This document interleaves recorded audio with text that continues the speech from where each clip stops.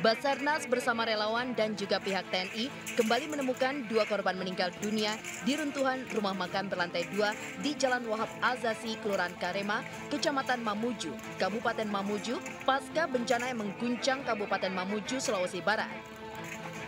Korban baru dapat ditemukan setelah pihak Basarnas mengerahkan alat berat guna mencari korban.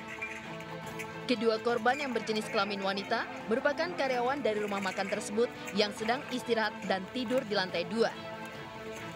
Kepala Basarnas Oktavianto yang ikut dalam pencarian korban mengatakan pihaknya sudah menemukan total empat korban dari reruntuhan tersebut dan semuanya sudah ditemukan tidak bernyawa.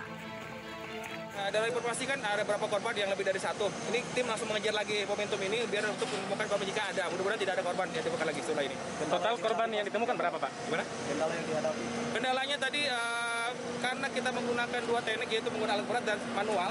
Jadi kita harus hati-hati karena